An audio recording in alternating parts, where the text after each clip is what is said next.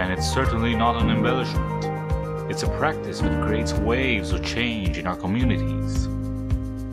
For every idea begins with a question, and is philosophy but unearths those deep questions hiding within. It is then our passion to answer those fundamental questions.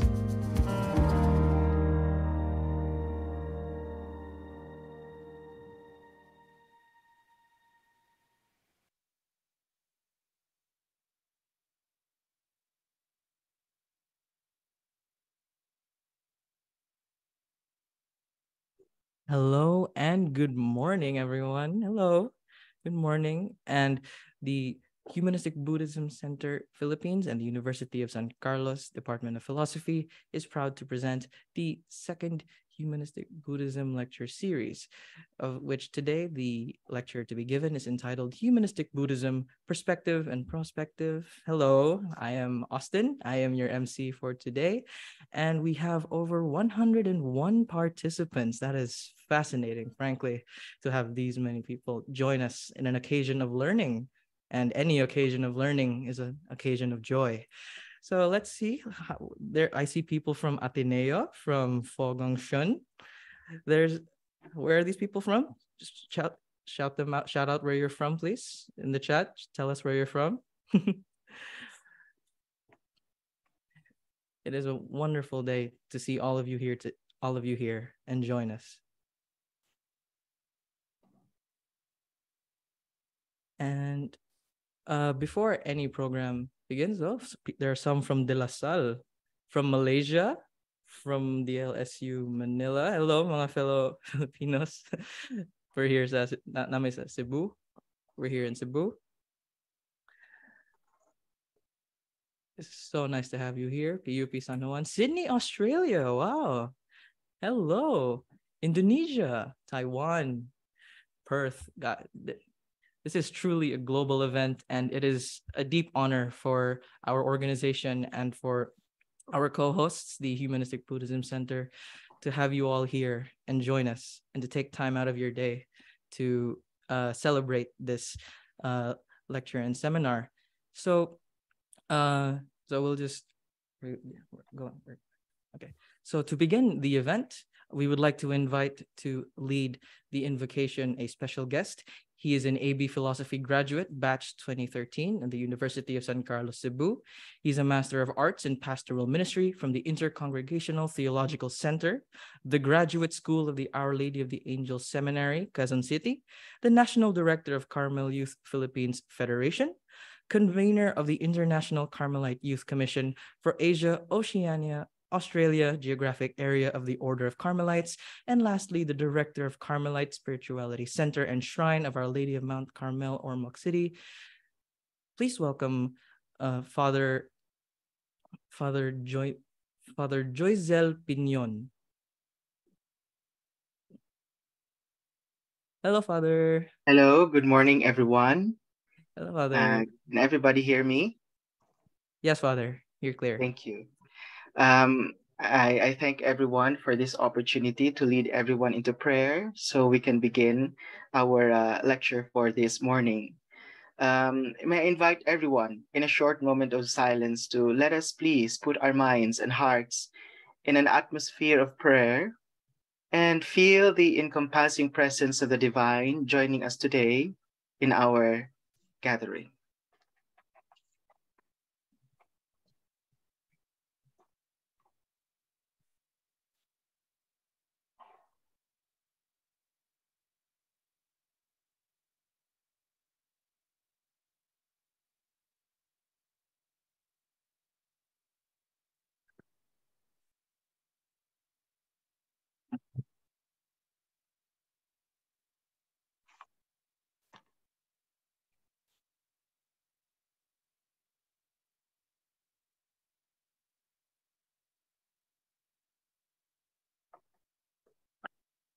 Now, may I invite everyone?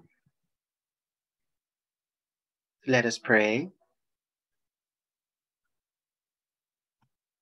God of encompassing wisdom and loving kindness, you reflected, you reflect yourself in all of creation, great and small.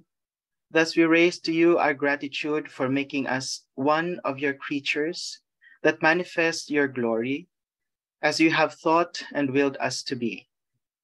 Continue to bless us with your loving kindness, that in our own being and in our capacities, we too can manifest to our fellow humans the goodness of our nature, reflecting you in us, who is the source of all good. Accept our gratefulness for seeing us through the night and for opening our eyes this morning to see the light of day.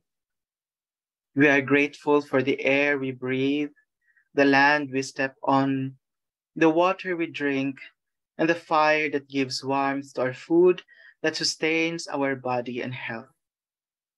Provider of all good things, we rely on your graciousness and teach us to be gracious to one another so we can nurture the gifts of peace, love, and understanding, and reject conflict, hatred, and violence. As we gather here today to experience the wonder of your wisdom shining through each one of us, we ask you to bless this moment and keep our minds and hearts open to what gifts each of us can offer today. Let this time be a moment of harmony as we celebrate the presence of each other and appreciate the knowledge that we can learn from one another in pursuit of making our existence deep, meaningful, and worthwhile. We hope that with your presence and providence today, we can reap both knowledge and virtues from our conversations in this gathering and use them to uphold the dignity of our human life and existence so that each of us may continue to shine the light that is present in us, which flows from you, who is the source of all light and goodness. Amen. I thank you all for praying with me, and may this day be fulfilling for all of us. Thank you. Thank you so much, Father Joyzel Pinion. What a wonderful prayer to bring this gathering to together. And we are going to uh please all stand to honor the national anthem. National anthem. Mga kababayan, ang pambansang awit ng Pilipinas. Kayang magiliw,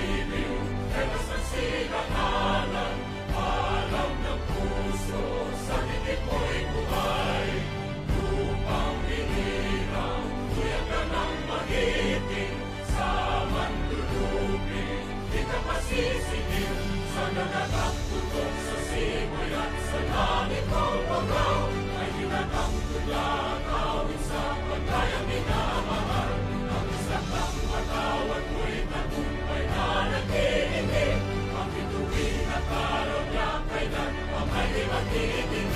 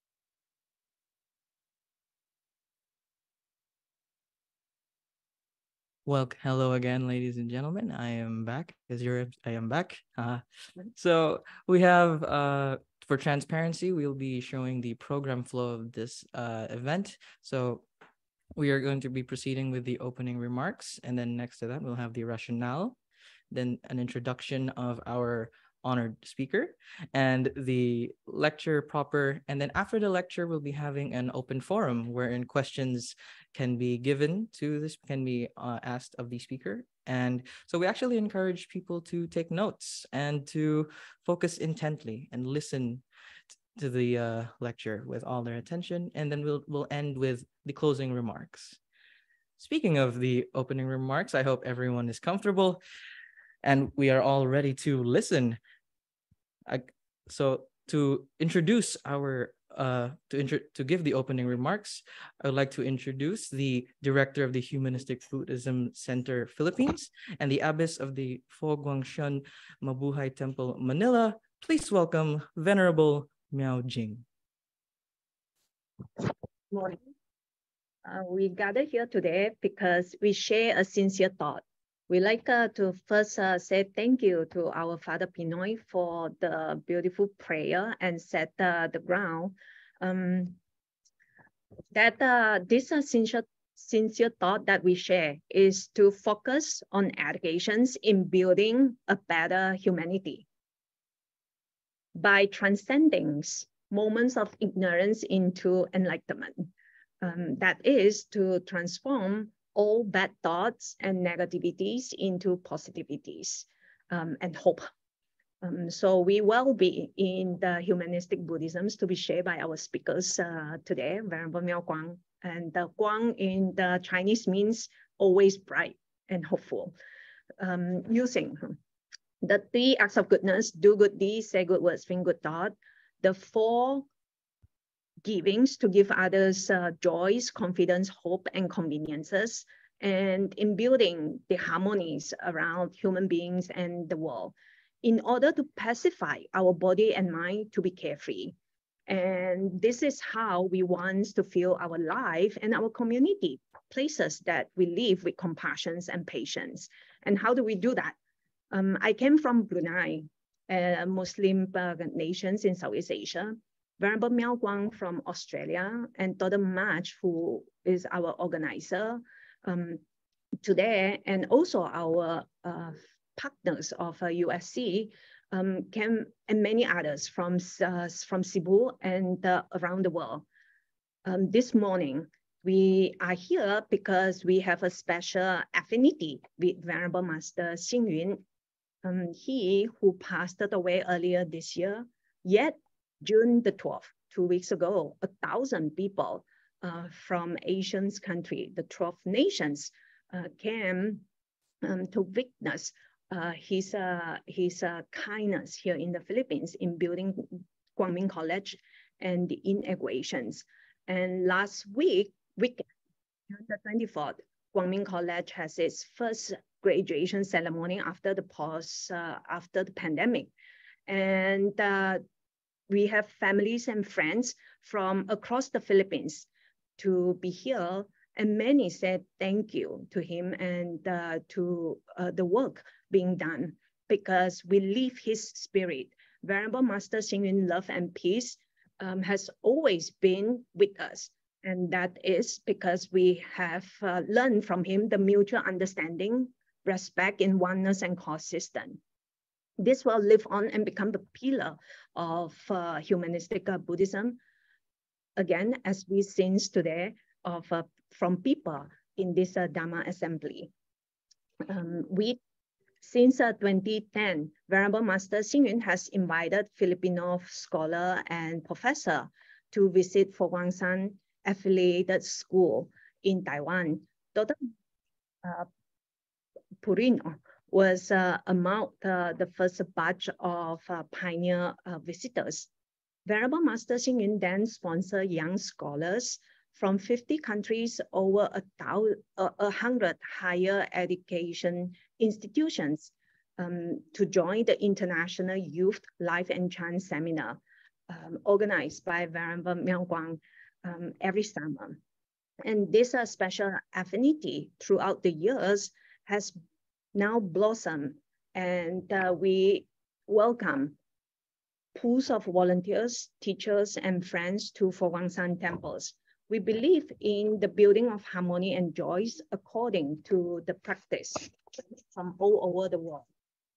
Um, Venerable Miao Guang, alongside with Venerable Master Xing Yun, has uh, went around the world since uh, the turns of uh, this new century. So he, together with him, hands in hands, that uh, he has seen the needs of people um, and uh, know uh, what would be the best uh, for uh, our learning and our human development.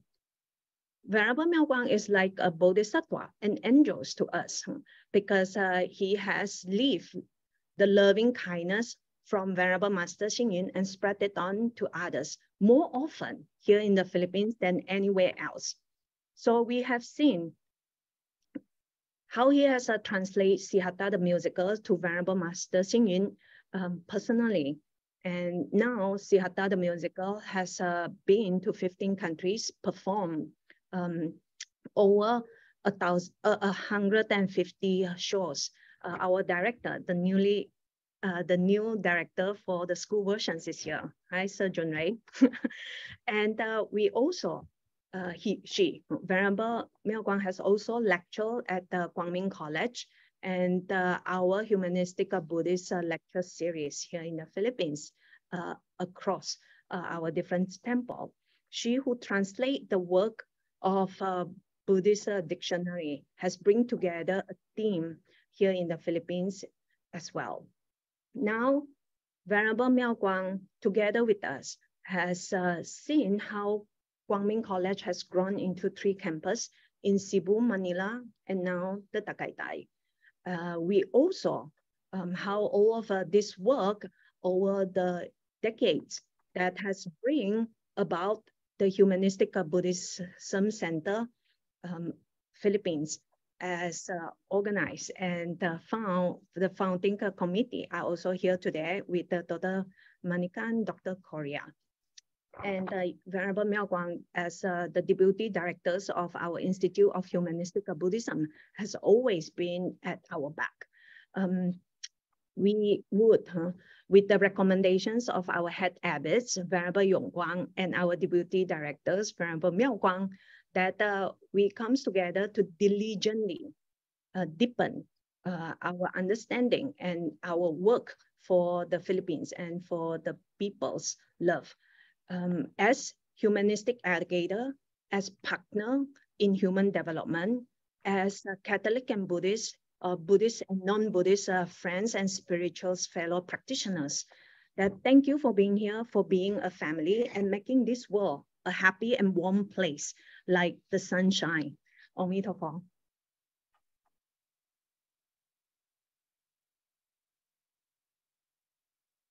Hey, thank you so much for the heartwarming opening remarks, Venerable Miao Jing. And to kick off this seminar, I hope everyone is comfortable, everyone is ready, everyone has a smile on their face, ready to get some learning. So, we're going to be starting off to kick off this seminar. We're going to have the rationale and the introduction of our speaker to be given by the Uni University of San Carlos's very own Dr. Marjorie Borino.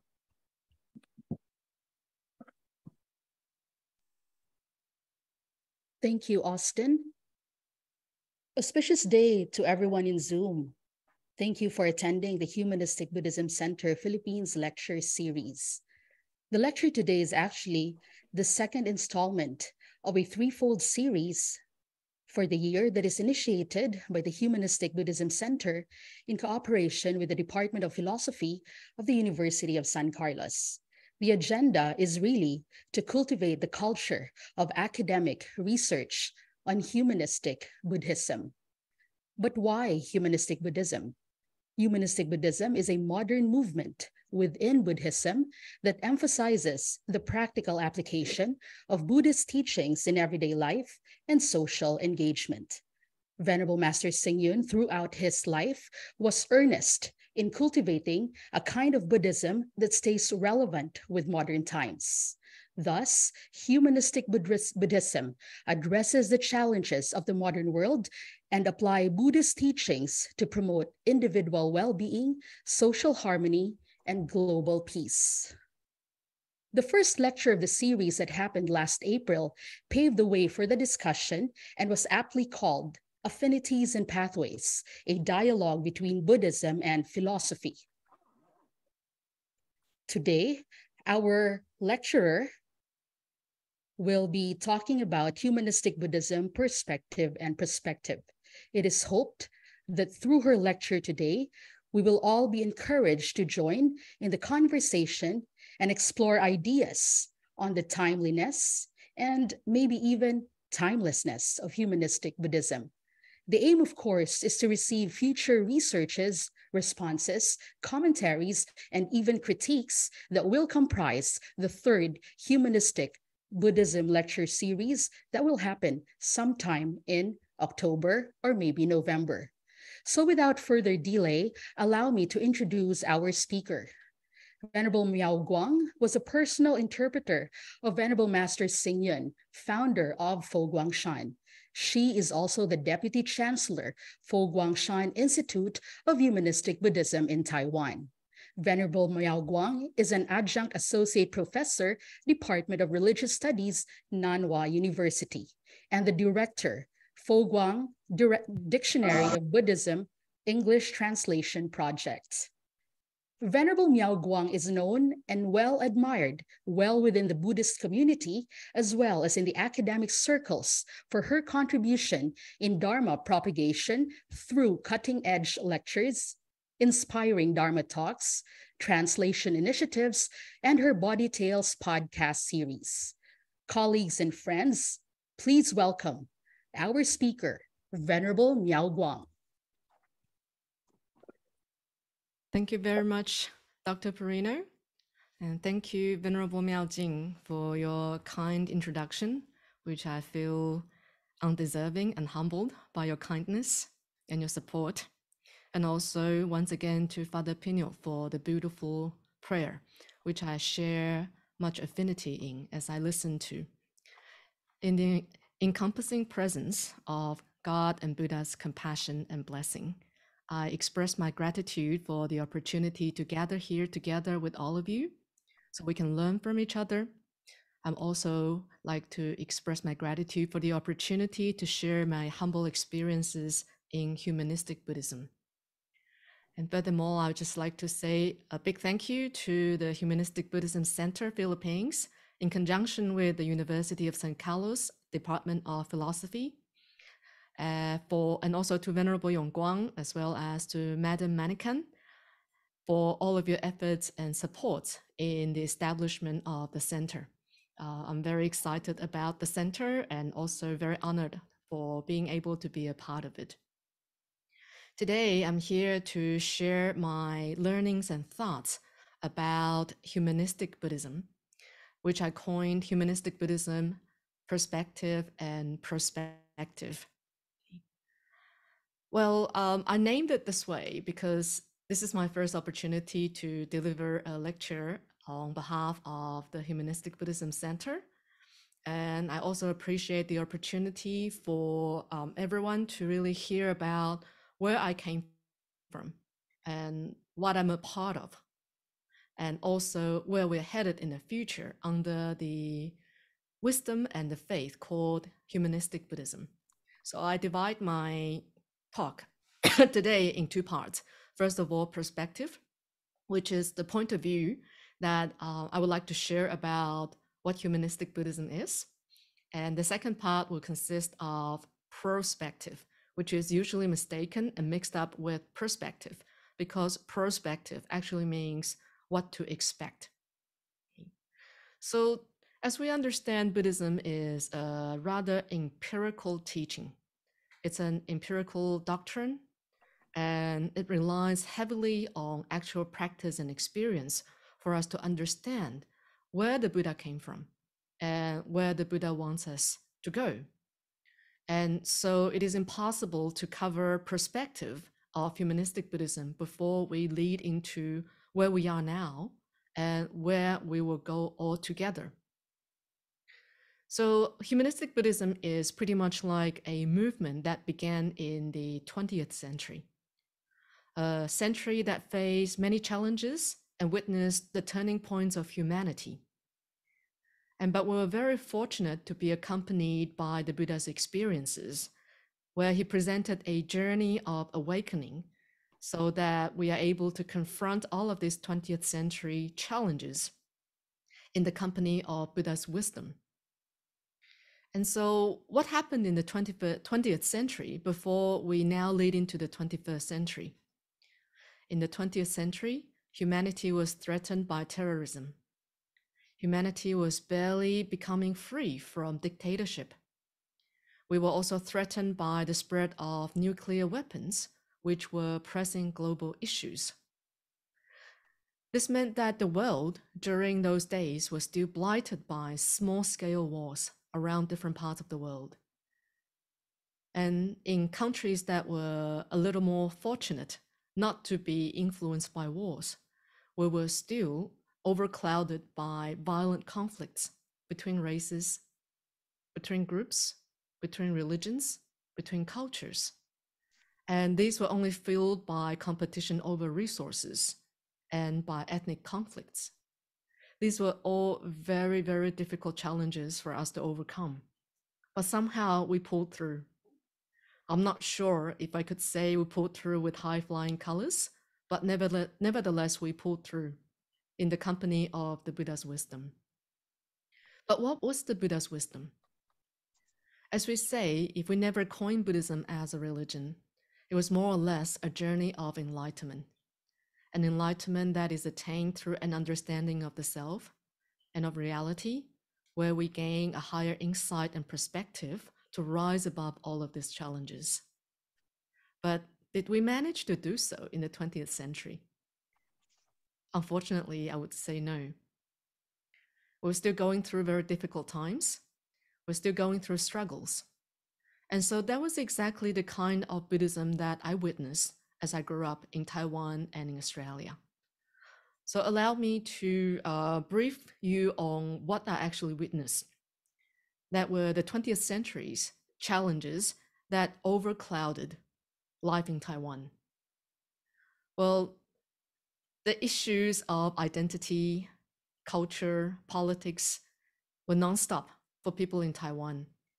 And so, starting from as early as the 17th century, we could already see that life in Taiwan was overclouded by the Dutch occupation, the reoccupation by Zheng Chenggong, and then the Manchurian conquest of China, which then led to the Japanese occupation in 1895, followed by the Civil War, which was a major clash between the KMT and the Communist Party.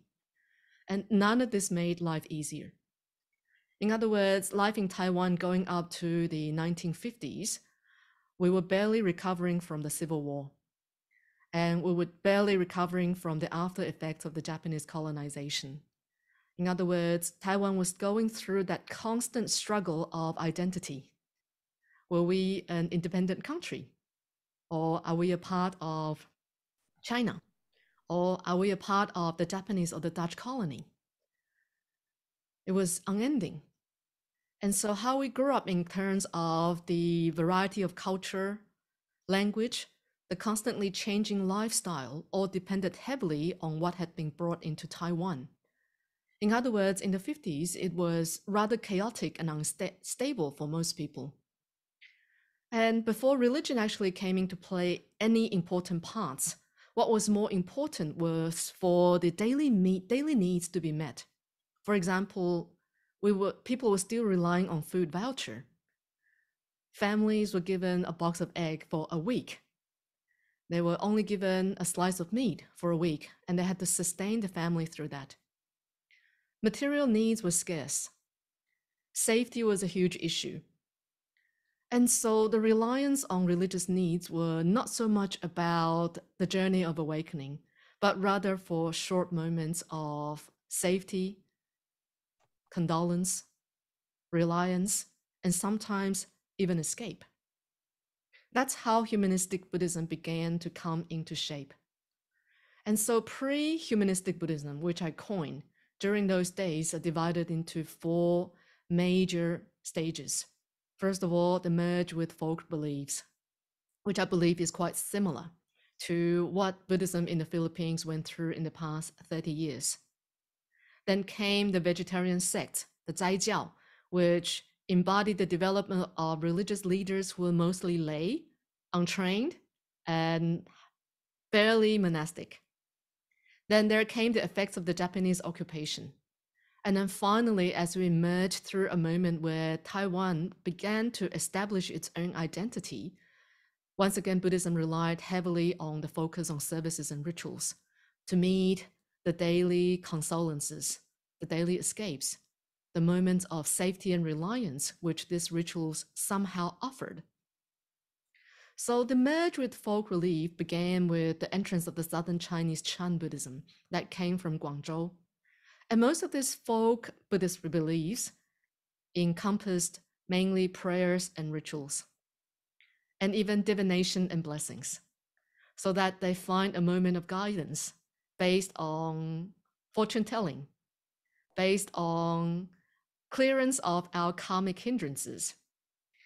And all of these guidances came with a mix of Taoist and Buddhist faces. These faces lacked Orthodox Buddhist lineages. We don't know where they came from.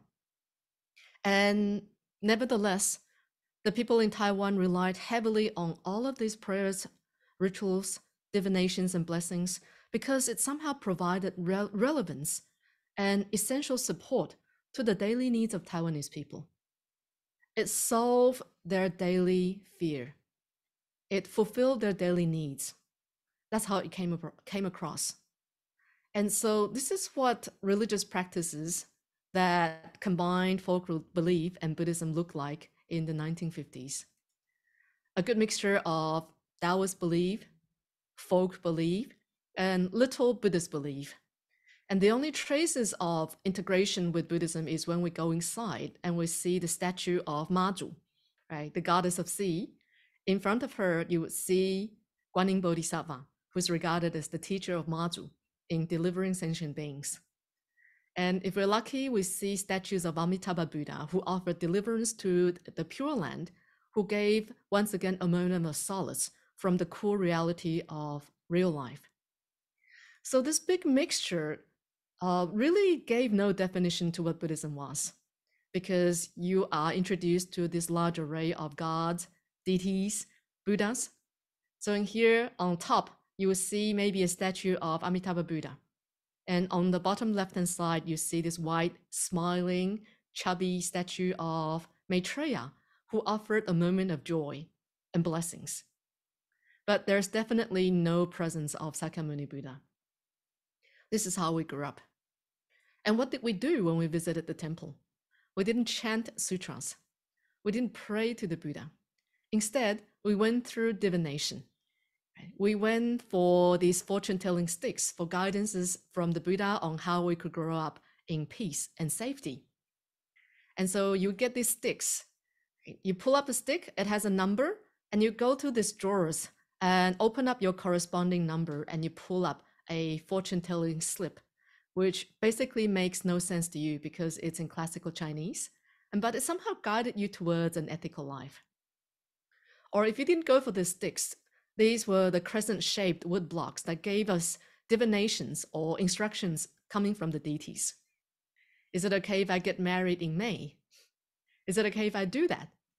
And so the elderly in Taiwan heavily relied, relied on the divination practices to rece- receive some kind of instruction so that they feel okay to proceed with life, especially in the rite of passage. And so it worked this way. Basically, if the crescents face the same direction, it's a no. Should I get married in May? If you get them facing the same direction, no. So you have to get the crescent shaped blocks facing different directions, one up, one down, three times in order for this to become a yes. And so the divine instructions were the main forces of direction and guidance in the 1950s. And what more? If you go to this fortune telling street in Taiwan, you get a variety of fortune telling um, techniques to teach you how to name your children. Um, there are even tarot cards to show you what you should do regarding your roman- romantic relationships, how to pursue your career, or there are even uh, face fortune telling. Or if you threw a bunch of rice into three different uh, dishes, there were people who, according to the instructions of I Ching, will tell you what's about to come up for you in life. We all believe in all of this, and that was religion for us. Somehow it was partly folk religion, it was partly Buddhism for us. And later on came Zaijiao, which were mainly temples organized and led by unmarried single ladies who conducted chanting services. But they barely received any training. Uh, you would regard them as the religious ladies who observed vegetarianism. And so these vegetarian sects uh, were each an integration of Buddhism, Taoism, Neo Confucianism, as well as local religious beliefs. And as they are administered by lay people, independent of the Sangha community, uh, really the followers relied on mutual support and service between clergy and laity. So, why is the lack of Orthodox Buddhist lineages a, a- an issue for these ladies? Because they cause a confusion between Buddhist monasticism and laymen. And even more, there came the Japanese occupation. Basically, the, the, the, the Japanese occupation became a way of observing the actions and the movements of the people through the spread uh, and organizations of the temple. In other words, if these temples did not offer loyalty or show loyalty to the Japanese government, um, there's no way of organizing and maintaining this temple. So somehow, one way or the other, these temples began began to follow the Japanese Buddhist traditions in the chantings and the clothing, and in sharing information about what the people in Taiwan were doing. And so this came, there came the suppression of the religion after the Xilai An incident. Basically, it was an opposition by the um, indigenous Taiwanese people who were trying to overthrow the Jap- Japanese government. And so they gathered inside temples for meetings, and that's where they collected their resources for the, uh, the reform and the revolution. But unfortunately, they were caught by the Japanese people, the government, and many were beheaded. And so from that moment on, um, the management and observation of the temples in Taiwan became even more strict. Okay, so the Japanese government laid a very, very heavy um, rule over these temples. Japanization, Japanization and the more effective monitoring and control over temple meant that there was mandatory association with the Buddhist sects. And so just that alone, you start to see people in Taiwan wearing monastic robes that reflected the Japanese traditions. For example, the third uh, person on from the left in the front row, that's how a Japanese monk or priest dresses up. And whenever you dress up in this, they know you are part of their people. You are assisting in their monitoring and controlling of the Taiwanese people. And so, what are the positive effects? The positive effects included that it somehow created a, a creative process through which a sense of identity for Buddhism in Taiwan was developed. They began to dress uniformly. They began to chant similar sutras, eh, and it closed the gap between Zaijiao and Orthodox people. You started to see this is what Buddhism in Taiwan looked like. And then going further into the late 50s, in the early 60s, there came focus on services and rituals, Jingchan Fojiao. And services and rituals became a predominant way of practice, where it included recitations of the Buddha's name, Omitofo, Omitofo, Omitofo, for for rebirth in the Pure Land. And there were chanting services or deliverance rituals to, to deliver the dead. It was almost an everyday need for people because people were dying every day. They needed deliverance. They needed a way to go after life. And this is where Jingchan Fojiao came in. And charitable works were also a very easy way to accumulate merits, which was a huge thing for people in Taiwan because they believed the only way to lead to a better future life is to accumulate your merits. And so these deliverance practices included a lot of offering and giving to the dead. So in Luna July, we would gather on the streets to make food offerings. We would in, uh, be, become involved in the chanting services to deliver the dead. But as the demands for this became so high, and there were so little trained monastics, this is what happened. An increasing number of lay clergy became involved in these rituals, which were interesting because people believed that the only way to deliver the dead, you must be fully trained. You must be monastics who observe precepts and were celibate in order to have enough blessings. So, how would the lay clergy actually be qualified enough to deliver the dead? It was a huge question. But nevertheless, this heavy, heavy uh, emphasis on services and rituals became a way for Dharma propagation that remained all the way into the 60s, the 70s, and even the 80s. But misunderstandings arose because people continued to believe that the only way for you to accumulate merits were, to through, were through these rituals, through life releasing rituals, which was quite interesting because where would these animals come from? Right? Business people saw an opportunity and began to capture all these wild animals, turtles, birds, trap them in cages, sold them to these religious organizations for deliverance services. But these deliverance services were not conducted properly. And so you see these buckets of fish, turtles were poured into dry ponds, which only killed more life, which indeed isn't correct and un- eh, well, I guess pretty much unethical. So Jingchan Fojiao, or the focus on services and rituals, uh, once again uh, manifested this heavy dependency on services and rituals, where the monastics chanted for offerings and money. And they were receiving payments for conducting services. It was a main source of income. And as it became easier and easier because of the high demands, monastics began to avoid the difficult task of teaching the Dharma, which caused disrespect for monastics. And so, as Venerable Master Xing arrived in Taiwan in the 50s, he saw and began, he saw the problem and began to provide solutions, not by overthrowing existing rituals or practices, because people were so used to it. Instead, he skillfully instilled Dharma teaching into these chanting services and rituals. He didn't say, stop chanting, stop organizing these rituals. Instead, he said, okay, do it. But at the end of the day, spare 15 minutes to listen to me and learn about what you have just been doing. Learn about righteous belief and righteous practice. And so this began to raise higher awareness in the spiritual needs of the living rather than that in the deceased. What we saw as the dawn of humanistic Buddhism, especially in the 50s, was a turning point when people realized hey, the focus should really be on the living rather than the dead.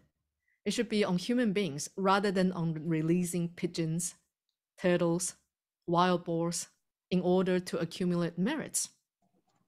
And so the general impression of Buddhism in Taiwan, starting in the 60s, began to turn. it began to turn. It began to turn from a moment when we focus on largely otherworldly, for example, afterlife, deliverance of the dead. And then we began to see hopes placed in better future rebirth. That's the first thing. But nevertheless, it was just dawning. It was just dawning on the people that there were many issues and confrontations to be resolved. So during those days, it was still a rather disorganized group of Buddhists who had very little influence.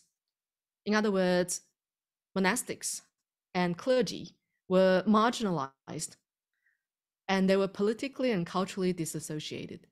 They showed very little concern about what society was going through, and they disassociated their daily practice to these social issues. In other words, even in this period, the Buddhists in Taiwan were still rather behind in the ways of Dharma propagation. So there were misunderstandings about Buddhists. For example, Journey to the West. Monastics were timid. They had no rights of judgment because whenever the pig told on the monkey, right, the monk would just chant a Heart Sutra to punish the monkey. It was ridiculous.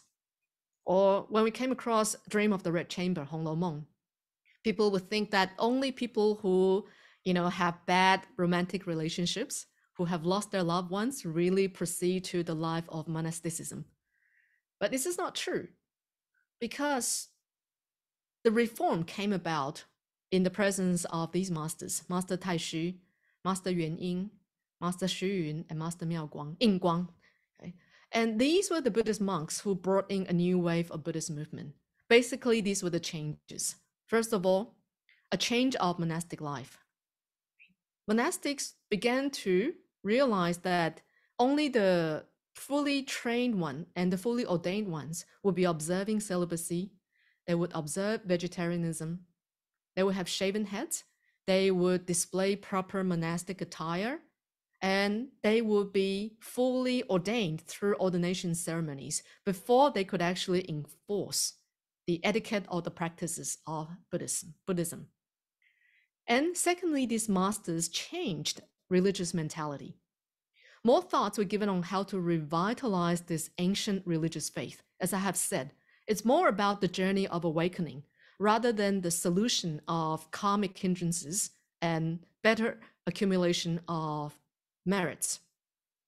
And we needed to ensure the survival of Buddhist monastics through proper training, proper practice, and righteous belief, so that a future social position for Buddhism can be secured. And so, that being said, I have to say, Buddhism in the 21st century is pretty much a type of Buddhism that had the journey of awakening crudely interrupted by real life. Because society was just forming and the identity of Buddhism was just establishing, there's really no room or space for awakening for, to any of these people. You have to survive first. Okay? You have to make sure the daily needs are met. You have to be accepted by society first. So if you dwell deeply and directly into meditating, finding awakening, then Buddhism would never find a place in this world. So that's why Master Taixu saw the need to really integrate Buddhism and everyday life. He was a pioneer. He was, he was a reformist. And his main ideas were about the fact that you don't need to really look into rebirthing a pure land for the next life. What you do is in the here and now. If you live life well in this life as a human being through ethical deeds, in the guidance of the 10 meritorious deeds, 十善业, and also to befriend eminent ones who can travel in the three vehicles, the Sravaka, Pratyekabuddha, who follow orthodox doctrine, and for the Bodhisattvas who set out to free oneself and others. Then a pure land could be right in front of you. So this was a whole new mentality back in those days. But he says it's not impossible because the attainment of Buddhahood begins with the perfection of your human character, which comes from the purification of your three deeds verbal, physical, and mental deeds. And that will lead to the perfection of the human character. And if we do that, then of course, Buddhism can be a totally different experience of awakening as a human being for all of you. In other words, what he wanted to say is that Buddhism is not a religion for the dead. It is not a religion for ghosts. Rather, it's about us as human beings who practice Buddhism, not to die a good death, but to actually live a better life in the here and now. So, the huge turning point tells us that as human beings, what we do is instead of trying to strive for a good death, why don't you strive to understand the meaning of life now? And by doing that, you must first acknowledge what society is doing for us and what we can do for society in return. So, in conclusion of Tai Taixu's entrance into the picture of humanistic Buddhism, we see his three major intentions. First of all, to correct corrupt practices of Buddhism. Second of all, to clarify misunderstandings of Buddhism being a religion for the dead. And to restore the good tradition of Buddhism, which focuses on improving real life in this world. So that set and paved the foundation for humanistic Buddhism, which we're about to enter. But let me remind you reforms are not easy. Reforms are always coupled with resistance. Even to this day, when we're trying to understand the practice of Buddhism, as we teach the 21st century Buddhist mentality, we experience resistance. What kind of resistance is this? Let me use an analogy. This is the first computer that came out in the world. It came out in 1942. Very early, it was about four tons that took up the space of a whole room. It included 10,000 tubes that were connected to every uh, part of the computer. And this computer came up to a massive memory space of two megabytes. Huge, tremendous. So back in those days, people were introduced to the computing world thinking this is special. But if I was to ask you, can you please email me with this computer? You must think me crazy. Okay, so I'm going to upgrade this a little bit. and move to the very first Macintosh computer that came out in the 1980s. Right? It was the first computer that used a mouse and a cursor. Right? So it involved an interaction of your hands that reflected on the screen. As you move the mouse, the cursor also moved. Okay. So it's much better, isn't it? Much more advanced. It was connected to the internet. So again, I ask you to email me with this computer. You think, okay, nobody uses 3.5 inch floppy disks. Okay, hello, venerable, wake up, keep up with the steps of time. So I said, fine, you know, how about phones?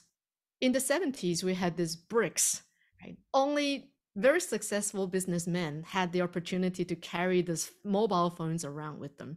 So if you see anyone carrying this on the street, it must be a CEO making a lot of money who needed to be contacted any moment. But I'd say, call me on this phone now. And again, you would say, you must be crazy. So upgraded a little bit. What about the smaller bricks, right? That made men look really cool and fancy. And I said, call me on this phone. You will shake your head at me. So, okay, upgrade to iPhone. And they say, that's more like it. Okay, Venerable, I can contact you. I can talk to you now. We can communicate. So th- these are the kinds of resistance we experience today when we say humanistic Buddhism is now going to move towards a space outside the shrines, off the cushion, away from the sutras, but into real life where we resolve everyday issues such as family issues, work issues, personal issues, and global issues. They would say, no, no, no, no, no. You Buddhists are supposed to use these old gadgets, right? That's the only way for me to realize you are a truly trained Buddhist. But it's not, because today, Buddhism in the 21st century, coming from the after effects of the 20th century, we see Buddhism is being regarded in three ways.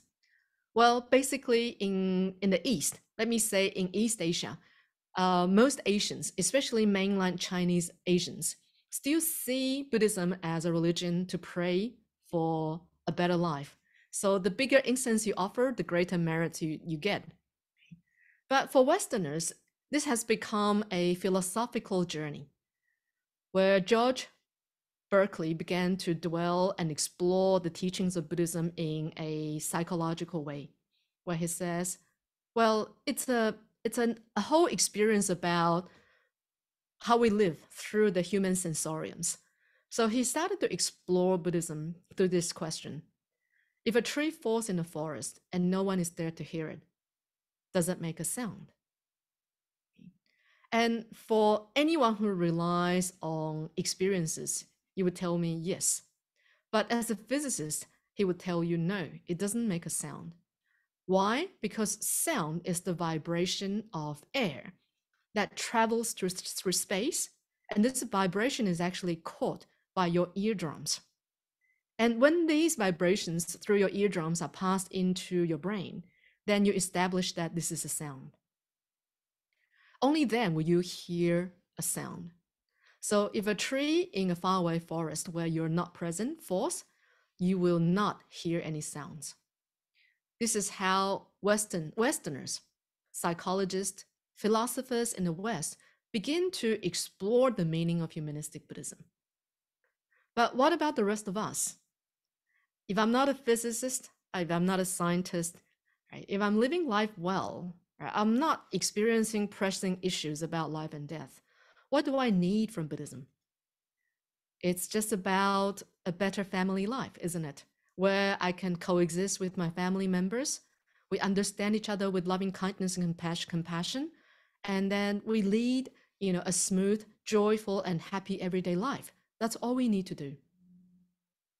If that's what we're after, then Venerable Master Xing Yun comes into the picture through contemporary Buddhism in Taiwan by founding Foguangshan, where we see the difference between Foguangshan temples.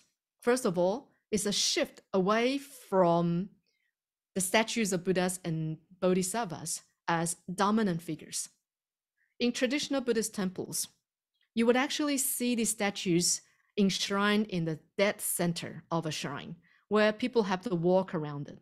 It's usually dark, it's usually very narrow. But at Foguangshan, the shift towards humans, where Venerable Master believes that the space for shrines are for human beings to come in to connect with the Buddha through the act of chanting, laying prostration, meditation, or simply just sitting down in quiet solitude, gazing upon the Buddha to receive moments of consolence and compassion as well as blessings. So the space is actually for humans. And even more, monastics in temples begin to reach out into schools. Buddhism has become a Buddhist education for children in all areas. So it's a great care and concern for the younger generation in their opportunity to create an educated and knowledgeable future. So these mobile trucks are being dispatched to remote areas so children have a chance to actually learn by reading. And at the same time, Venerable Master showed concern to the local farmers who were neighbors to Guangshan, Because these neighbors, although they were farmers, they knew how to grow lychee. They didn't know how to sell lychee. So in most cases, they were usually exploited by wholesalers. And so in order to make sure that they earn what they truly deserve, as these mobile trucks reach out to remote areas, to schools, into streets, into communities, the truck drivers also learn to deliver the wonderful produce of our local township. And they found ways to interact with the local people as well. And so this is a huge shift between traditional rituals to actually reaching out, stepping into society to show kindness and compassion of Buddhist. And Venerable Master not only did that, he also established the Buddha's Light International Association, which primarily consists of lay devotees. These lay devotees take on leadership roles, they take on decision making roles, they execute the Dharma propagation ideas alongside the monastics. And so that we discover that Buddhism is no longer exclusive to monastic practitioners, but it has become a universal life experience for anyone who has a family. So even householders have the chance to experience the joy, the liberation, and the accessibility of Buddhism. Families were brought into temples, not for the difficult practices of meditation, for chanting, or the study of doctrinal issues, but they were simply there to share moments of family moments together. So you will see in these cases, instead of chanting services, we see cheer squads, choir, right, Sunday gatherings for families covering all ages. They were able to just enjoy being together. They have something in common about the religious experience. And at the same time, it's not difficult. It's not exclusive. It becomes inclusive and universal. So this largely steps away from the traditional teachings uh, and practices of the Dharma, and it becomes much more relevant to our everyday experiences. And the third thing Venerable Master Xing did was the founding of the Buddha Museum, which were formerly known as the Buddha Memorial Center. If you walk into the Buddha Museum, it's not a religious museum. It's a park. It's an educational experience once again. It's a chance to learn about nature for families all together. It's also a chance for religions to come together to celebrate our togetherness, to celebrate our common goal of the sharing and giving of love.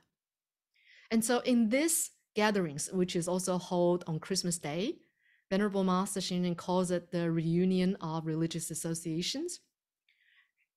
The deities, the gods which people worship, are invited to come together to celebrate and to share our experiences. And in one of the years, um, the Santo Nino from Cebu was also invited to come to the Buddha Museum, right, which was a truly beautiful moment for us to learn more from one another. We saw the smile, we saw the jo- joy, and we appreciated the beauty in all and every religion, no matter what. So, this is the kind of 21st century Buddhism that we are stepping into when the journey of awakening no longer will be disrupted by reality. Because today we live a more abundant life. It's much more convenient. For one way, most of us live a much more stable life, less affected by war. But our hearts are still with the less fortunate people in the regions who are still under the threats and the cruelty of war. We wish for that day of stability, abundance, and joy to come for them too. But for us, when we enjoy that, what we look into Renjian Fojiao or humanistic Buddhism becomes a much more holistic presentation of the entire Buddhist religion that holds but one single aim. That is, the well being of individuals, families, societies, and the entire world. So, coming to this point, what is humanistic Buddhism? Venerable Master coins it as a teaching that was taught by the Buddha, needed by human beings, that purifies and beautifies. So, as we speak of this, basically the word humanistic has to cover some levels of Buddhist humanism. And so, what is Buddhist humanism? Let's look at a couple of things. First of all, it places an emphasis on the uniqueness and the unavoidability of being human. To experience and to benefit from humanistic Buddhism, first of all, live as a healthy and a wholesome human being. That's what you need to do. Why? Only humans have the capacity of receiving and implementing the Buddha's teachings because we have the most intricate, intelligent system within us that can transcend AI, that can transcend the greatest mysteries of the universe if we give ourselves an opportunity to experience a moment of awareness and unity with the rest of the universe. The world will open up to you. Everything opens up to you through the Buddha's teachings. And when you receive these teachings, you establish through the unique capacity of human beings the development of bodhicitta. That is, this awareness to benefit both just the self, not just the self, but also for others. And in other words, in the humanistic aspect of Buddhism, we must pay attention to a couple of things. If we want to achieve all of this, the bodhicitta, deliverance for self and other, and the unique experience of establishing this in- intelligent system that gives rise to awareness. First of all, we must avoid indulgence in metaphysical teachings. For example, where the world come from? Where did the world come from before I was born? What will the world become after I die? These would not be the primary concern for us. The primary concern for us now would be how do I become awakened to the great unity and oneness of myself and the world? And second of all, second of all, the Buddha's claim to be human, humanistic again emphasize the fact that we experience everything as a human being through our human sensoriums. So we receive and open up this greater ability to become aware and observe this world. We do all of this for one thing liberation of humanity. So, the definition of humanistic Buddhism being coined as what the Buddha taught, it's got to come from the instructions of the Buddha. And secondly, if it's not relevant to human beings, if whatever the Buddha taught cannot help us resolve our everyday issues, then it's not what we need. You can walk away. You can ignore it. And what causes us not to walk away or ignore humanistic Buddhism? After our experiences of the teachings, we realize it engages us in the process of mental, physical, and verbal purification that leads to the wholesome life of an ethical human being, which makes us our life much more virtuous and beautiful. It is actually done through the levels of the five vehicles. In other words, you can be a human being, and if you still strive for a future rebirth in the heavenly being realm, you're still involved as part in, as a part of the picture in humanistic Buddhism. At any moment you deceive to tra- decide to transcend human desires, you become otherworldly because you seek the liberation, liberation from your own suffering, from your dukkha, and from the cause of life and death. And once you realize that, the harmonization of this worldly and otherworldly practices become the status of the bodhisattva. So once again, what do we do as human beings and even as heavenly beings? Our practice can just focus on generosity, discipline, and meditative concentration. This will guide us towards a better and more ethical human life. And this crosses over with um, the teachings of Confucianism and worldly religions as well. And secondly, anytime you have the mind to transcend dukkha and rebirth, the realms of Sravaka and Pratyeka Buddha basically turns our attention towards an understanding of the Four Noble Truths. How is suffering caused? Can we end it? When does it end? And how do we end it? This exploration towards transcendence become a truly transcending one and a liberating one. But ultimately, the Bodhisattva path helps us give rise to the four universal vows to deliver all sentient beings, to end all of our dukkha and suffering, to learn all the teachings, and ultimately strive towards Buddhahood. But all of this begin with the five precepts and the 10 wholesome deeds. I believe this is also a universal value for anyone seeking a, an ethical religious life. Because no killing in humanistic Buddhism is basically interpreted as an establishment of respect for all lives. You do not trespass on any life's right to live.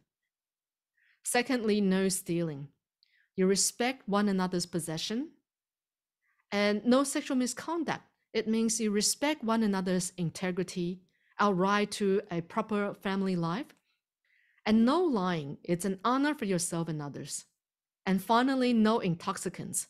In other words, no taking of alcohol, no taking of drugs means you're reserving the right to a clear conscience that leads to clear judgment and awareness. So, why are these important? Because the five precepts and the 10 wholesome conducts are the starting point of awakening. They are the root and the foundation of spiritual cultivation and the growth of all virtues. And if you don't remember any of these precepts, that's also okay because this it's just one rule. Do not trespass on the well-being of oneself and others. And this comes from the norms of conduct, discipline, and the foundation of social order and stability.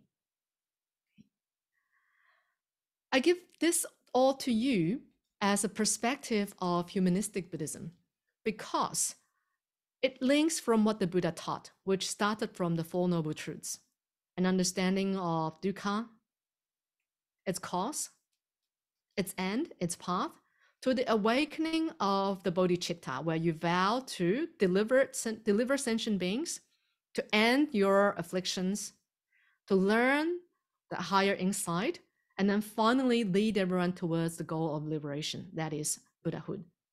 And the practices are all laid out by the Bodhisattva path, such as compassion that will end your dukkha, prajna wisdom that guides you through your way out of the cause of the dukkha, and the practice, which is the persistent way to end dukkha, and then finally to keep vowing so you stay on the path. And the four, four uh, objectives of Fo Guangshan does exactly the same thing. When in the form of education, culture, charity, and purification of human minds through spiritual cultivation, tells us but one thing, right? Again, how do we lead a good family life? This fam- family life is done through the simple attitude towards the Dharma. That is, anytime we come across the teachings, the basic rule is to speak well of the Dharma and put it into practice. Because only by accepting it and giving it a try will you be truly the benefit beneficent receiver of the Dharma. And secondly, if you can do it well, help others with what you have learned. And thirdly, anytime you're unsure of how this will benefit you, try to make constructive comments and studies of the Dharma instead of meaningless criticisms. Because the meaning of language, especially the meaning of religious language, is not just to communicate. The meaning of religious language is actually to inspire meaningful action that will lead towards better well being. And so, after the perspective, secondly, we go into perspective. What is the perspective of humanistic Buddhism? And in three simple modes, Venerable Master continued from the value of Venerable Master Taixu. He said, in the 21st century, what we need to focus is on is actually to liberate the living rather than the dead. So by living a good life, you won't have to worry about dying a good death. Okay. Secondly, don't just wait for the Buddhas or the monastics to give us blessings. We must trust in our own ability to generate our own blessing. We are our own merit generator. Anytime we speak good, we do good, and anytime we think good. And so, in doing that, what is the perspective of humanistic Buddhism? And I would say you're looking at a much more universal and accessible practice. And I coin this as off the cushion mindfulness for the future. In other words, our journey towards awakening through the guidance of mindfulness is no longer on the cushion. It's in the everyday learning, starting from young. It's the blending of religion as well as our everyday joy and celebration of life. So, in any of these moments, when you're learning, when you're offering your service, when you're singing, when you're sharing your musical talents, when you're telling stories of profound history, what you realize is that you're still practicing mindfulness. Mindfulness is not done on the cushion. It can be 24 7, anytime you're aware of what you're going through. Anytime you have full observation and realization of your thoughts, and you understand how not to become attached to it as a false self. And anytime you realize the awareness of this true self comes from this great interconnectedness with everyone else. Your world begins to open up through off the cushion mindfulness done in our everyday life practice. And second of all, a perspective to humanistic Buddhism would be the de-ritualized spiritual cultivation. So what do I mean by this? It's not through the chanting and prayers that do you start to live ethically. It's actually done through the act of giving by sharing the presence of yourself with others. So, in this Master Xing model, we no longer seek just our own well being by chanting and praying for our own well being, but to share moments of life when we open up the doors of the temple so school children can come through to learn about the values of the three, the three acts of goodness. What is the benefit of doing good? What is the benefit of speaking good? What is the benefit of thinking good? It must start at a young age. And so as you start to grow, this becomes a wonderful Buddhist education where you realize it's actually through the process of acquiring knowledge, sharing knowledge, and internalizing this knowledge through your actions and deeds do you start to live ethically. You start to show disciplined actions. You start to display improved personal relationships through this development of greater awareness. And the third perspective of humanistic Buddhism is a decentralized global development. In other words, from as early as the 15th century, I want to show you the picture of the Great Circle. This was shared with us by Dr. Lewis Lancaster. Towards the end of the 15th century, this is pretty much the complete establishment of Buddhism. Coming from North India, reaching out to Southeast Asia through Sri Lanka by the sea route, reaching out to East Asia in Chang'an, in Japan and in Korea through the Silk Road. This full great circle of Buddhism displayed the mandala development model.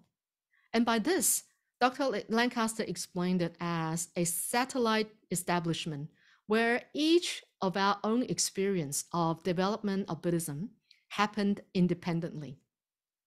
It happened according to our, our own needs to satisfy our trade needs, our daily needs, our family needs.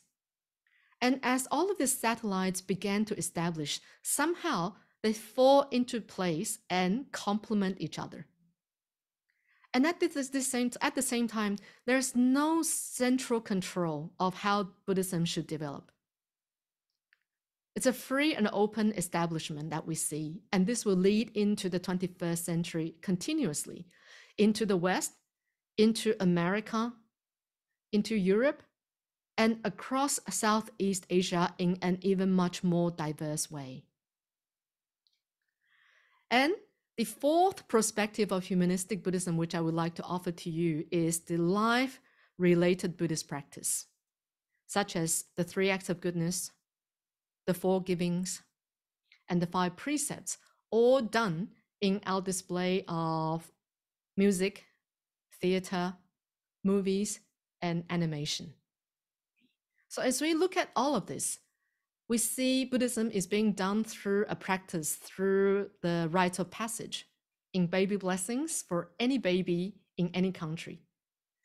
And leaders, politically, economically, socially, religiously, will come to really celebrate the culture uh, and the history of each religion in finding the good together.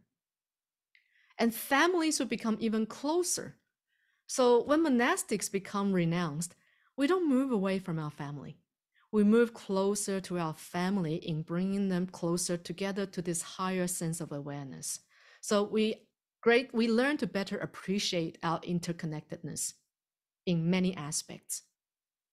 And so, that being said, we have only an hour to go through the perspective of humanistic Buddhism from my, my angle, the development of Buddhism in the Taiwanese history, the changes, the reforms, and the new developments, but much more importantly, the perspective of us moving together towards a much more holistic, but at the same time diverse, open, and free way of practice.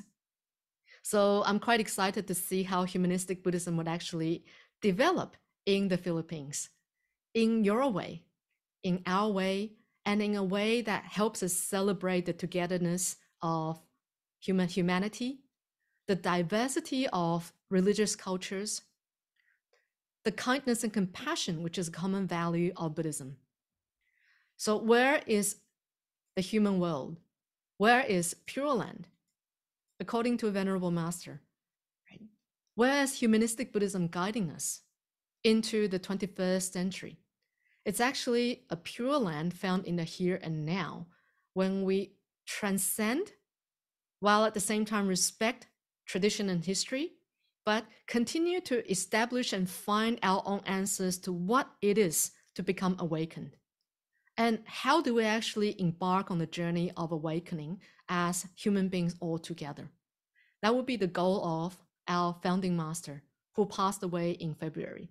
He says, It doesn't matter. Speak the language you speak, do the things you want to do, be the people you want to be with, and practice and share Buddhism in any way possible. As long as Buddhism is there in any place that the sun shines on, there will be happiness and peace.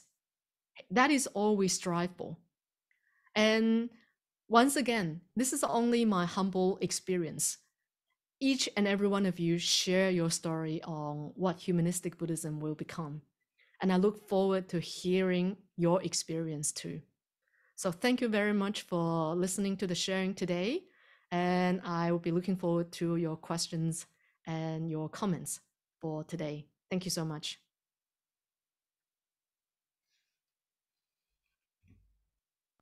Okay, and a round of applause for Venerable Miao Guang for such a wonderful lecture. Thank you so much. And after, as noted by the program flow earlier, we're going to be moving into the question and answer period, the open forum, as you will. So I would like to share the mechanics of this uh, Q&A portion. So all questions must be asked through chat only. So if you see your uh, chat box, uh, you can see in the bottom it says to Sophia. You can direct your message to a specific person. Direct them to me, Sophia Podium, if you have any questions, and then I will be repeating them out loud so that the uh, speaker will have a chance to answer your pressing questions. I'm sure, and uh, please do not unmute your microphone and ask the question yourself. The moderator will relay it for you, as I will. And you may use the direct message feature of Zoom to do so. And once more, um, uh, yes, just please direct it to me and I will repeat it for our uh, uh, honored speaker to answer. So let's give it a while. And we already have a question. Okay. very fast, very fast. Thank you. Uh, we have one from Clint Tan, who is uh, a member of Sophia. So it's a fellow organization mate of mine. And his question is, uh, let me see. Wh- Okay. His question is to Venerable Miao Guang. Would you enlighten us as to the question of what differentiates um, Orthodox Buddhism and humanistic Buddhism?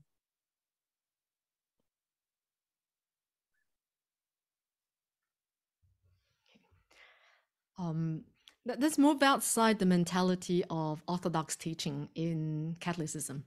This is what we need to begin by doing. And so we're just borrowing the word Orthodox in terms of the establishment of the Buddhist organizations, especially in the 1950s. Okay. And so by Orthodox, first of all, you must come from a proper and established Buddhist lineage. For example, Fo Guangshan comes from the Linji lineage, one of the schools that branched out from the from Chan Buddhism. Right, There is um, Linji Buddhism, there's Shaodong Buddhism, there are all kinds of practices. But this particular lineage of Linji Buddhism is an interesting one. It's the lineage that comes from a stick and shout education. Basically, you're beaten into your way of enlightenment. So anytime you're not doing right, your teacher shouts at you, right, and beats you up. Okay. And you would see stories about these Chan masters, right? Disciples and masters like beating at each other, screaming at each other. But that whole idea is to kind of like shout you out of all your all of your delusions. Right? In the moments when you're so shocked, you have no other time to think about any delusive thoughts, but to turn directly towards the most pressing issue. That is, can you become awakened? And of course, that later on in the 19th century, throughout mainland China, right, became a, a more agriculture oriented Chan monastery lifestyle, where you depended on your daily practices to understand the reality of life and to understand the nature of your mind. That's one lineage.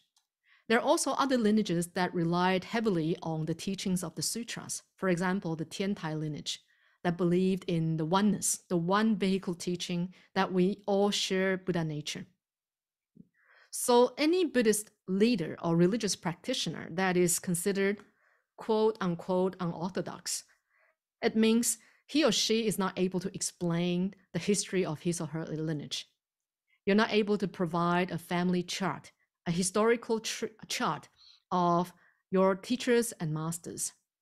So, in other words, a lineage will represent a long established way of practice and teaching that sustains a monastic community through the times and guides us towards again, the ethical lifestyle of the Buddhist practitioner, a disciplined one, a mindful one, and also a bodhisattva one. And so in the Zaijiao period, you would see, you know, probably a, a lady who would just pick up a wooden fish, start to, chant and say, hey, I can offer services to offer deliverance um, services. But they don't offer any teaching. They don't know where the teacher, who their teachers were. And so when humanistic Buddhism is defined by what the Buddha taught, we come from the lineage of Shakyamuni Buddha, whose original intent is simply to strive for the well-being of real life for any human being, no matter who you are, no matter who you come from. And it shouldn't be hard to state your lineage if you come from a, an, a proper or quote unquote an, uh, un- an orthodox one. So I hope that answers the question because you must have come from some kind of established tradition to understand why your practice is shaped this way. And only by understanding why your practice is shaped this way will you be able to sustain it in your everyday life. I guess it's the same with the way you sing, the way you perform, right? The way you think philosophy, isn't it? In philosophy, you have some kind of lineage too, and you have to really abide by that to really establish, you know, your part of this lineage. So I'm going to stop at that. Thank you so much, Venerable Miao Guang. Clint, I hope that answers your question. He's nodding. Yes, he is. Okay, he is satisfied. He's very happy. Thank you so much.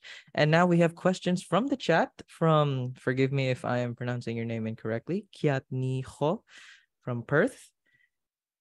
I hope I'm, I hope that was an okay uh, pronunciation. So she asks, uh, how do you see the, I believe this is AI development within the perspective of humanistic Buddhism era? Okay. Ah, the good old AI question. Will we be replaced by AI? Will we be taken over by AI? You know, would AI decide how we live life? Yes and no. Yes, if you if you stop yourself from the process of awakening. AI to me now is uh, a prediction of patterns a prediction of patterns based on collective knowledge and experience created by human beings that is dumped onto a database. So, however creative AI can be, it's only the limited combinations of the data that you feed to it logically. And it happens, we need it. it. It makes life much more convenient, right? It helps you draft a letter, it helps you find answers to knowledge much quicker without spending two hours around how to translate one word. So AI is meant to make make life more convenient for us. It's only convenient for human beings who have a sense of awakening, who understands what AI is doing for us. But if you take it for granted, if you accept AI without an awareness of your own sense of awakening, your own sense of creativity, your own sense of infinite possibilities in humanity, then you're doomed because you will be so accustomed to fixed answers, prepared knowledge. But answers cannot just be one. If you allow yourself and even everyone in your community to just accept one single type of uh, answer or question, then you're doomed, isn't it? There are 136 people in this Zoom session. And if we have a question, we're supposed to have 1,3600 answers to all of it because each and every one of us can create so many different types of answers to what awakening is. But if you sit there and wait for AI to tell you what it's meant to be and you think, ah, this is it, you're doomed. And so, as we are taught to question life and to inquire into the purpose of life as taught by the Buddha, we do the same towards what AI is doing for us. Challenge it, rise above it, and know how to use AI. So people once asked me, will translators be replaced by AI? And I say yes. Passive translators will be replaced by AI. But creative translators who know how to use AI will never be replaced. Who's the slave? Who's the master? The whole Buddhist education is about us being our own master. So the question is simple. right? It's going to help us in the development of humanistic Buddhism as long as you remember you can, you asked you your own your own master. I refer to Venerable Master Xing as my teacher because sometimes people ask me, why do you call him master? Does he own you? Which is quite true because it's an honorific title that we refer to our founder. But to clarify that mistake, I just- and I say he's a teacher who inspired me to think independently. So, in the face of AI, may you continue to think independently, continue to question the limit, limit, limitedness of what AI is giving to you, and to doubt whether AI has provided all the answers. Then you will rise above AI and turn AI into your greatest assistance. Okay, Be your own master. Okay, thank you so much. I hope that answers your question. There's a round of applause given in the chat, so I think that's a sign of that's a sign of an affirmation there. And now we have another question in the chat. Venerable Master Xing Yun has a lot of sayings about Guan Yin. Some sayings, such as doing Guanyin, is specific. However, Dong Guanyin is also advocated by Taixu. Uh, my question is, what is the specific contribution of Venerable Master Xing to the Guanyin? Thank you so much. Okay. That is our question. All right. Okay. Um, I'm not sure what I I'm not sure if I understand what Dong Guanyin is. But um, I can answer the latter part of the question, which I can also read. Right, the specific contribution of the Venerable Master to the faith of Guanyin, and um, I would say uh, a new perspective he actually gave to us about Guanyin is that we don't need to be saved by Guanyin. We can, but we don't need to. Okay. So he divides faith into primary school level, high school level, tertiary education level, and PhD level. So in primary school level, you are still being fed knowledge. So the primary school level of Guanyin faith is you're waiting there to be saved. It's okay, we all need it, right? In our darkest days, I also call out to Guanyin to save me. But as I enter um, secondary level, I start to ask, who is Guanyin? He says that. He says, you need to think about who is Guanyin. Right? Is it really the statue up on high on the altar? Is it really the deity who descends from high above and dressed up in this ancient Chinese white robe? You know, I mean, today go onto the supermarket or into the shopping mall. If you see a lady walking in that white costume, you're going to be so scared, aren't you? You're not going to be happy to see Guanyin. So that obviously is not the only image of Guanyin. So on the secondary level, we ask ourselves, who is Guanyin? And on the tertiary education level, right, we think about what actually made Guanyin Guanyin. Right? What is the quality of Guanyin? Right? He observes the sounds of the world, reaches out to the sounds of cries for help, and offers a help that is suitable to every individual, isn't it? So there is that creativity in there and the, and the endless possibilities of the fact that Guanyin is someone who caters to your needs and almost promises deliverance as long as you believe in Guanyin. Then what happens at PhD level? You become a part of the production line. Right? You take part in the production of Guanyin and say, what if I also have the hmm. ability to all Can I of that? specify it to say why does humanistic? oh, Yeah. So as we think about how to cater to the needs of human beings, it's not exclusive to Guanyin.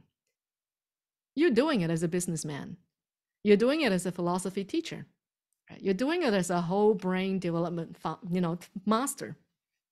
You turn, you tend to the individual needs of every living being. Yeah, So even on that level, he, I believe his greatest contribution is to awaken our potential to also be Guanyin ourselves. Right? Instead of waiting for Guanyin to save you, why don't you be someone else's Guanyin in every small part you can take? Right? So I, I really love this saying. Know, you cannot wait until the day when you have gathered all your ducks to cross the road.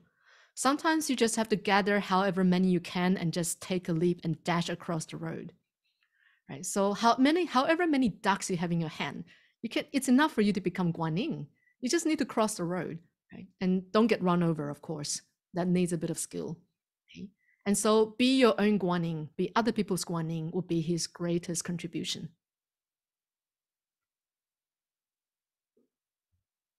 Okay, thank you for that response, Venerable Miao Guang. We see a thumbs up coming through.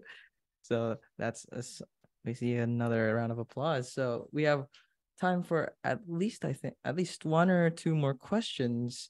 We have a question here from uh from the chat. Um from Alexander Anthony Toby Xiao. Please forgive me if I'm uh mispronouncing your last name there. Uh, what is the perspective of humanistic Buddhism on the current economic inequalities in the world, and what should be done about it? Sorry, can you repeat the question again? Uh, the question is What is the perspective of humanistic Buddhism on the current economic inequalities in the world, and what should be done about it? Okay. Um, I think I read this from Yuval Harari about 21st century for human beings. He says the biggest problem for humanity right now is that we are all setting out to exploit each other. Right? We only want to benefit from each other, but we don't want to benefit one another. That's probably the biggest issue, right? In the econ- economic sense, right? In the global sense, in the spiritual sense. And so that is why corporate responsibility has become so important, isn't it? Your role, your responsibility for society is not just to make money, to be successful, to be influential. You have a responsible for sustainable life on this earth, on planet Earth. And so this is a huge awakening, a top-down awakening, a wonderful approach, I guess adopted by Bill Gates, by Steve Jobs, right? By all the leading um, tech, you know, tech people who now believes that whatever they're creating, they're responsible for creating a future of the world. And if you keep exploiting the resources of this planet, and if you keep exploiting the labor and you know the, the wealth of other people, this is not going to happen. And so successful businessmen in America are beginning to awaken to the sense of oneness and interconnectedness. Right? In their practices of mindfulness, they don't discover secrets to how to become rich. What they become awakened to is this wonderful connectedness of themselves to the others. There's a podcaster by the name Naval, wonderful man for Puerto Rico, from Puerto Rico. He says, you know, any moment you engage in the practice of mindfulness, just by realizing your name, you invoke your interconnectedness to the rest of the world. Right. So for right now, if I call out to Sir Stephen Shum, when I say Stephen, and you ask, who is Stephen? Right. Stephen is a man from Malaysia. Right. So man from Malaysia, a country. Where's Malaysia? A part of the earth. Where's the earth? Right. A part of the solar system. Right. Where's the solar system? A part of the universe. And who is Stephen? A father, a human being. So, what is a human being? One of the species on Earth, alongside all the other animals, right? The bipedal, most important living being on Earth, who has an influence on how life is sustained on the Earth. And who's Stephen? A father. You're connected to the family. Who's Stephen? A CEO. Who's Stephen? A family or a friend of someone in society. So immediately, the moment you call upon a name, you invoke this greater interconnectedness to the rest of the universe. And if you don't realize that, you cannot give rise to this great sense of appreciation to what you want to create for the world. So, this is what business entrepreneurs are awakening to nowadays. And I appreciate that. And with this greater sense of insight and wisdom, they have greater concern for humanity. They want to focus more on spirituality as well as insight rather than economic benefits or profits. To them, it's not the most important thing anymore because getting rich is not the greatest concern for them anymore. Yeah, so it places a lot of hope in me to see that these wonderful business entrepreneurs are awakening to the same insight as that of the Buddha, starting from the very simple teaching of interconnectedness. Then, how can you not appreciate the greatness of the universe? Right? Who are you to say you're not worth any existence in- on this world when you're connected to so many wonderful forms of existence? If you see that, your life opens up. and then there shall be less exploitations in one another. And hopefully, uh, whoever asked this question, right, when you're connected to any chain of the economic development, right, you break these vicious cycles. You awaken minds, you bring about greater changes. And so again, it's all about awakening. Yeah, sorry for being so old fashioned, but I'm really kind of stuck on this awakening process. Thank you. All right, and I think we have about enough time for one more question.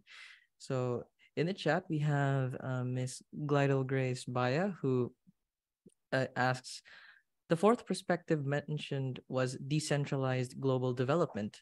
Was there any practice developed that was against the practice of Buddhism, such as misconception, and was acted if there was? How did the Buddhism community correct or deal with it? Okay.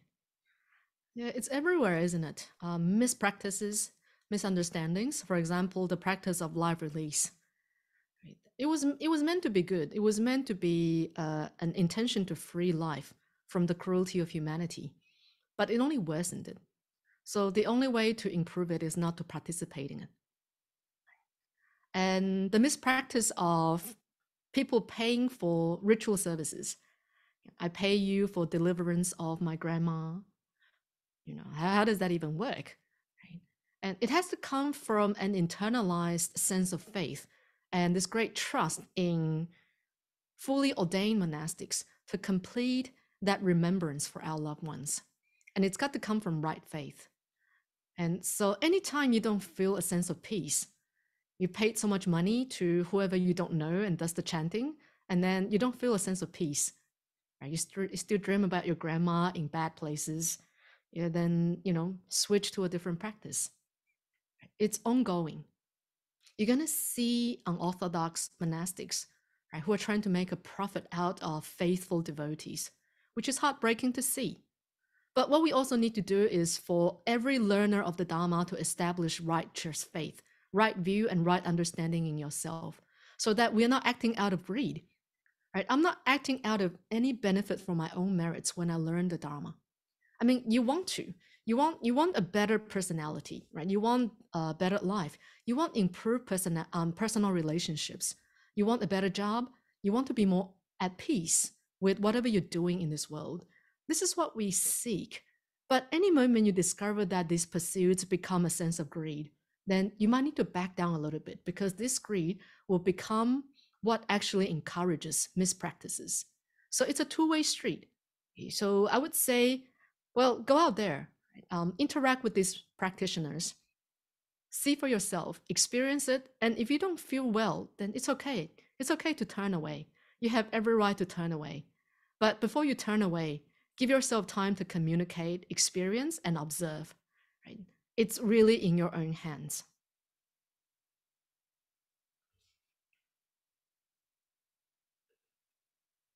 Okay, thank you so much. And I think that wraps up our Q&A period. I would like to thank everyone for sending in such wonderful questions and for Venerable Miao Guang, who is our um, source of enlightenment for this. Oh, for believe that's this, not uh, true. You are your own source of enlightenment. And now we come to we come to um, the latter portion of this program, where sadly it must come to a close, as all good things must end. And so we would like first to present the certificate of appreciation for Venerable Miao Guang, and I will be reading it in full. The Humanistic Buddhism Center Philippines, in cooperation with the University of San Carlos Department of Philosophy, presents this certificate of appreciation to Venerable Miao Guang in gratitude and recognition of her time and presence in sharing invaluable insights during the second Humanistic Buddhism lecture series, Perspective and Prospective, given this 27th of July in the year 2023 via Zoom meeting signed by Venerable Miao Jing and Dr. Ruby Suazo. A round of applause, please, everyone. Thank you very much. It's indeed been a great pleasure and an honor. Hmm.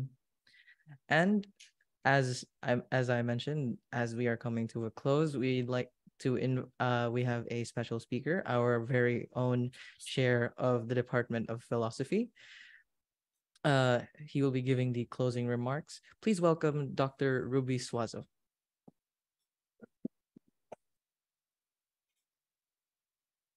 Thank you very much, Austin. I just realized that this uh, event is to happen by July 27. So, uh, dear colleagues and uh, friends, auspicious morning. As we come to the end of this enlightening, enlightening discussion, I am filled with a profound sense of gratitude for the insights and perspectives that Venerable Miao Guang, the Deputy Chancellor of Fo Guangshan Institute of uh, Humanistic Buddhism, have shared with us today. Her exploration of how this ancient religious faith revitalized itself to ensure its survival, yet continued to root itself in compassion, wisdom, and social engagement, has provided us with a glimpse into the profound impact that it can have on individuals and societies alike in the here and now, rather than focusing on the afterlife as the living are liberated rather than the dead. From its inception, humanistic Buddhism has emphasized the importance of integrating spiritual practice with active participation in the world. It reminds us that enlightenment is not an isolated pursuit, but one that is intimately connected to the welfare of all beings. By, recog- by recognizing the interdependence of all things, humanistic Buddhism encourages us to cultivate empathy, kindness, and a deep sense of responsibility for the well being of others.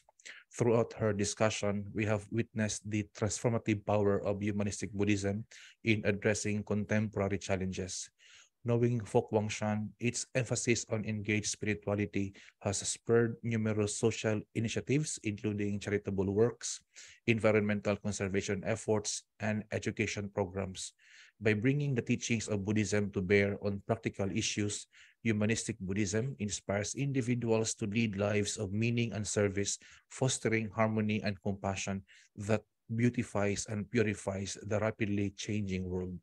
Looking ahead, we stand on the threshold of a promising future for humanistic Buddhism. In an era marked by increasing globalization and technological advancement, the principles of this human centered philosophy are more relevant than ever.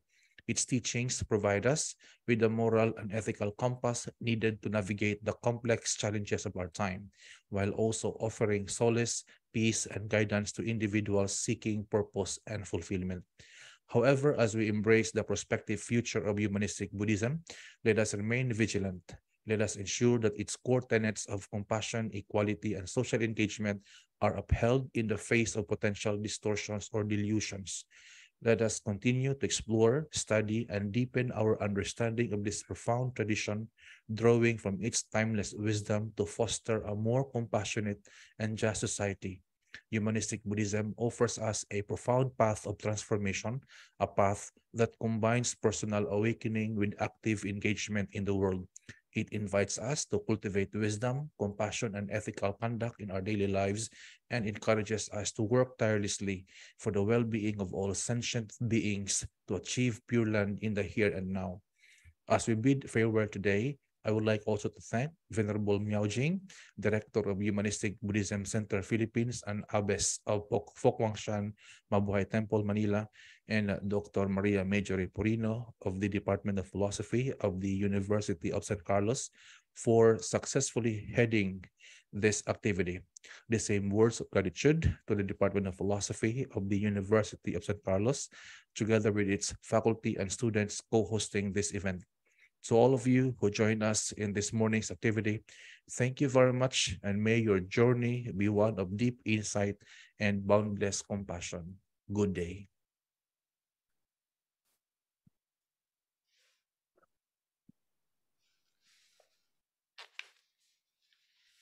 And ladies and gentlemen, we would like to thank you all for being here. That's 128 participants who came from all over the world to join us in this one gathering of uh, understanding and an opportunity for us to uh, come together as people of learning, as those who wish to learn and those who are curious. And uh, before everyone leaves, uh, we're gonna have a uh, document, uh, commemorative picture for everyone. So please turn on your cameras, have a big smile on your faces, and we're gonna have uh, our tech team screenshot.